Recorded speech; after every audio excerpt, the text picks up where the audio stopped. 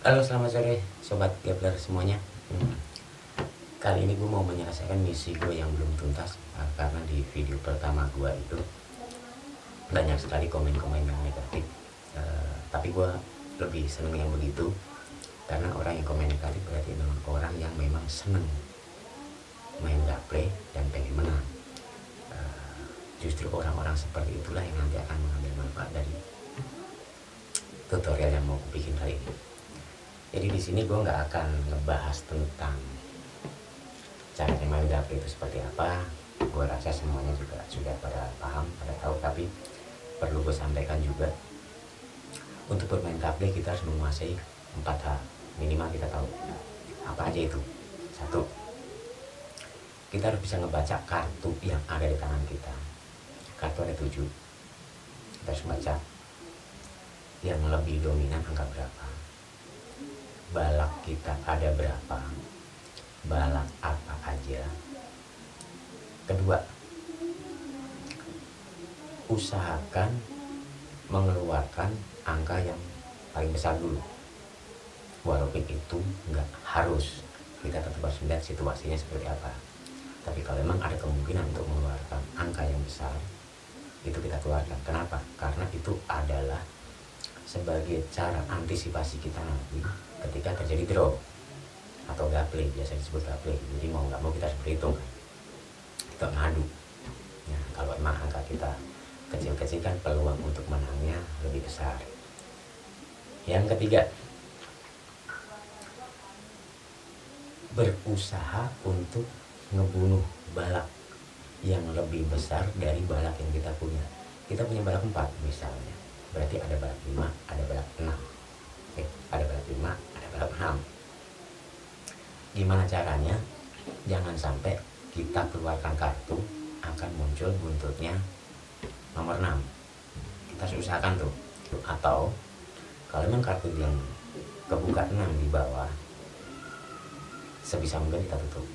Supaya balik 6 nya tidak keluar. Jadi kalaupun terjadi draw masih ada orang yang pegang balak yang lebih besar daripada kita. Itu yang ketiga. Yang keempat pandai-pandai membaca kartu yang sudah turun khususnya kartu lawan. Si A tadi jatuhin kartu berapa si B berapa si C berapa si A tadi nggak punyanya apa si B apa si C apa itu harus kita baca karena itu adalah dasar kita untuk bisa menguasai pertandingan. Kita harus jadi uh, playernya nih memainkan ritme dari permainan itu. Nah kalau keempat ini sudah kita kuasai kita sudah pahami barulah kita melompat atau barulah kita pelajarin teknik-teknik di luar yang umum memang teknik-teknik di luar umum ini ada beberapa orang yang menganggap sebagai sebuah kecurangan. Tapi di sebagian lagi nggak masalah. Selama itu tidak merubah atau mengacak-acak alatnya kartunya. Misalnya gini ngumpetin kartu jelas curang kartu ngumpetin. Nandain kartu misalnya barat kita tandain lagu barat lima kita tandain pakai potekan curang. Ini ada dengan alat yang kita pakai untuk permainan. Tapi kalau cuma teknik caranya coli eh ya coli caranya ngocok yang bener supaya kita menang supaya kartu bagus gimana? Buat gue sih ada masalah. Kalau emang yang curang potong dong. Toh ada uh, fasilitas atau apa ada apa namanya kesempatan untuk potong nggak? Biasanya gitu habis ngocok potong nggak potong dong kalau memang kocokan kita yang nggak curang kan gitu. Jadi akan lebih memberikan sebuah trik cara mengocok kartunya ini kita mau ngocok pertama nih kondisi kartu acak-acakan begini misalnya. Kalau kita bermain gato itu sebenarnya dimainkan oleh empat orang. Satu orang mendapatkan tujuh kartu. Kenapa? Karena jumlah kartu GP ini ada 28 kalau empat orang berarti masing-masing dapat 7 kartu. Dan masing-masing angka itu ada 7 angka satu ada tujuh angka dua ada tujuh angka tiga ada tujuh dan seterusnya. Semuanya ada tujuh. Jadi satu orang mendapatkan tujuh kartu masing-masing angka ada tujuh. Ketika kita mendapatkan angka dua misalnya lima kartu berarti ada dua lagi angka dua yang beredar entah di mana itu kalau bisa kita harus segera mendeteksi di mana sih keberadaan duanya itu. Jadi uh, kalau kita main berempat otomatis kartu pertama dan kartu kelima adalah kartu kita. Dan cara menghitungin satu dua tiga empat satu. Jangan satu dua tiga empat lima nanti kita jadi bingung.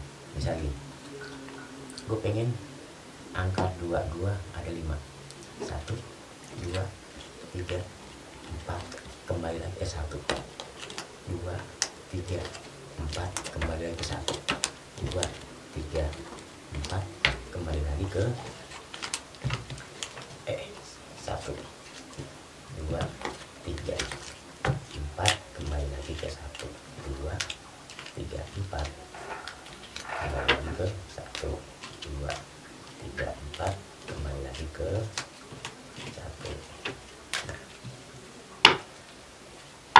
gue kasih contoh atau gue kasih apa namanya ini dulu ya. Ini kartu dua dua pasti ada lima.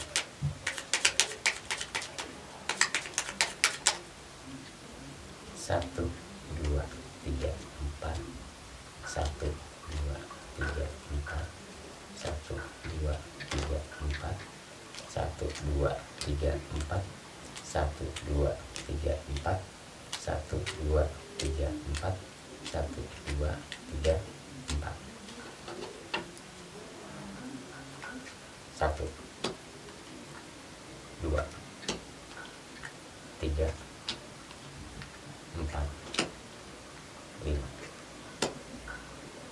dua nah dengan dua kita lima kemungkinan menangnya lebih besar dibandingkan duanya cuma ada tiga. Duanya ada lima di kita. Berarti ada dua lagi yang beredar. Kita nggak tahu di mana. Itu harus secepatnya kita deteksi di mana sih keberadaannya kalau bisa kita munculkan duanya. Ada yang mukul nggak? Kalau ada yang mukul berarti dengan satu lagi kan begitu nah kalau teknik main dapenya sobat gambler pasti udah pada tahu jadi gue nggak perlu contohin gitu ya nah, gue akan lebih ke macoknya gimana sih kok bisa seperti ini gitu. Pertama yang harus kita lakukan adalah